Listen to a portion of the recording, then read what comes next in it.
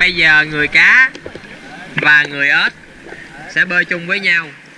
Người cá và người ếch cùng làm như thế này. Hít hơi vào nín thở lại nổi người lên lắc nhẹ đuôi. Còn là người ếch? Hít hơi vào nín thở lại làm động tác chân một hai ba. Em bơi rất bình thường đúng không thầy? đúng rồi rồi thở ra bằng mũi rồi kéo tay ngẩng mặt lên hít hơi vào. Úp mặt xuống làm tiếp. Còn đây người cá level 1 người cá bỏ trốn có ngày đi chơi xuống luôn tập. Thêm người cá kia nữa chưa cấp bằng gì hết đi chơi hoài. Anh anh đi sớt rồi. À vậy hả? Rồi. Bắt đầu. Bơi Jason Bơi đầu đến đầu vậy anh? bơi thẳng qua bên kia người ếch và người cá sẽ bơi với nhau.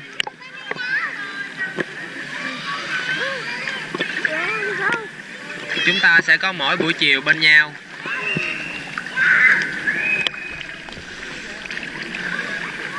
coi chừng người cá, người ếch nó đá người cá bây giờ.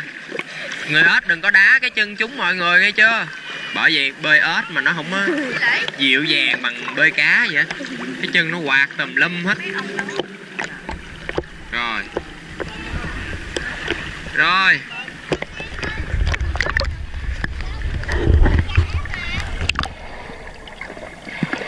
Rồi còn người ếch kia đâu rồi? Người cá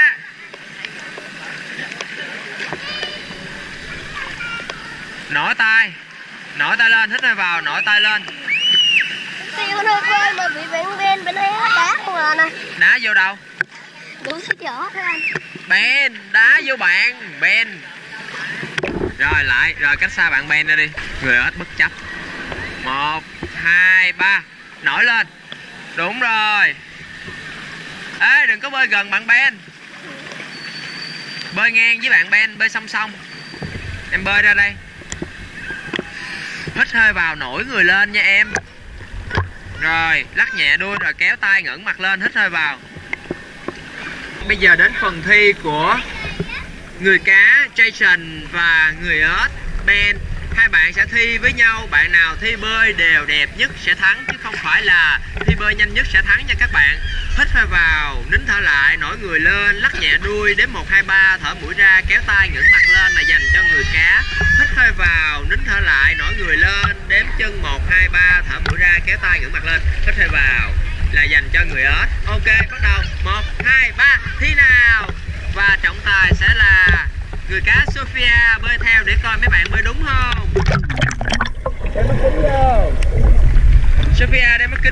Rồi mấy bạn ơi người cá bơi nhanh quá vậy. Người cá bơi từ từ thôi. Người ếch sắp xỉu rồi kìa.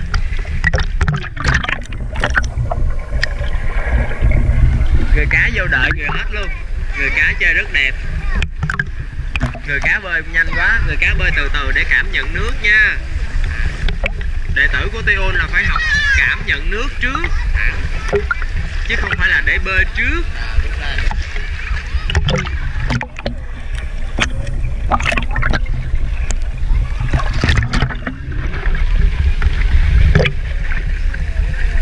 Người cá trọng tài Sophia, bắt coi bạn nào bơi sống